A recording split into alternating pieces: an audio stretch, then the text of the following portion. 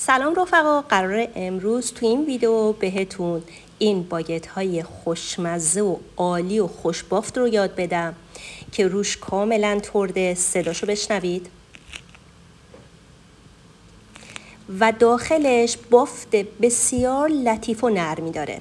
عطر و بوش هم که نظیره و این کتلت های دال عدس فوق راحت و ساده و خوشمزه که گوشتم نداره.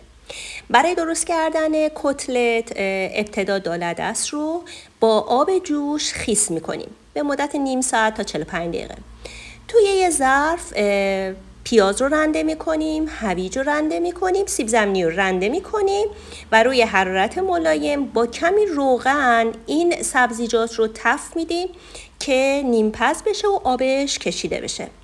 بعد از اینکه نیم پس شد داخل یه ظرف دیگه انتقال میدیم تا خنک بشه. تو این فاصله مواد باگتمون رو آماده می‌کنیم. این بار قرار باگت ها رو با تکنیک پولیش آماده کنم و پولیش رو در آموزش نان کدو حلوایی مرزدار بهتون یاد دادم.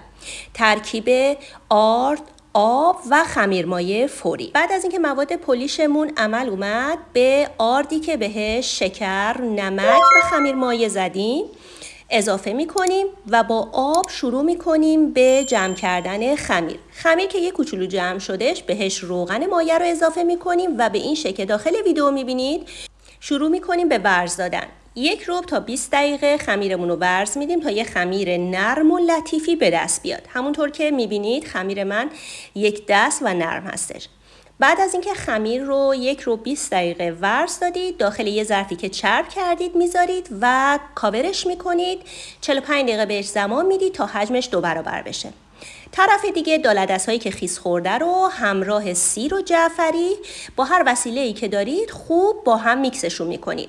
به ترکیب سبزیجاتمون که هویج سیب زمینی پیاز بود اضافه می‌کنیم تخم مرغ ادویه ها و آرد نخودچیمون رو اضافه می‌کنیم و خوب با هم میکسش می‌کنیم. با دست خوب ورزش بدید و بهش نیم ساعت استراحت بدید. بعد از اینکه موادمون نیم ساعت استراحت کردش داخل مایتابه ای که داغ شده روغن ریختیم از مواد برمیداریم بهش شکل میدیم و دو طرفش رو داخل روغن داغ سرخ می‌کنیم. بعد از اینکه دو طرف کتلت ها رو سرخ کردید بذارید روی دستمال تا روغن اضافهش کشیده بشه. تو این فاصله که کتلت ها رو سرخ می کردیم خمیر ما حجمش دو برابر شد پف خمیر رو می گیریم و شروع می کنیم به چونه گیری من خمیرم رو هشت قسمت کردم بعد از اینکه خمیر رو قسمت بندی کردم و چونه ها رو آماده کردم میریم برای باز کردن خمیر و شکل دادن به خمیر هامون.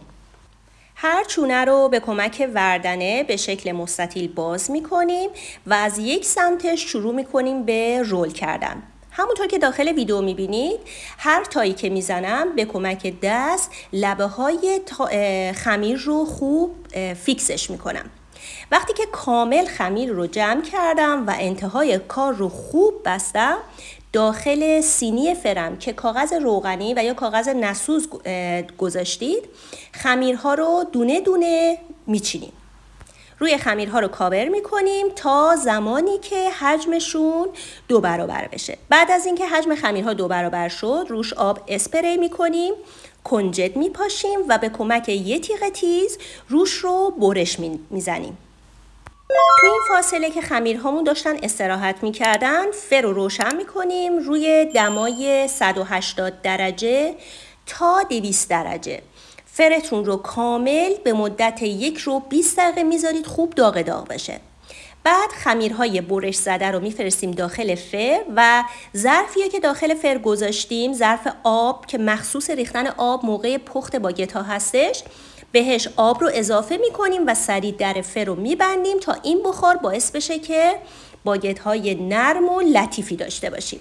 فر من گازی هستش. بعد از اینکه یک رو باگت ها پختش گریل رو روشن کردم و از بالا هم به باگت ها حرارت دادم تا طلایی بشه. بعد از اینکه از فر در آوردید روش رو با یه دستمال تمیز کاور کنید به مدت 20 دقیقه تا باگت ها هم خنک بشه هم نرم و لطیف بشه.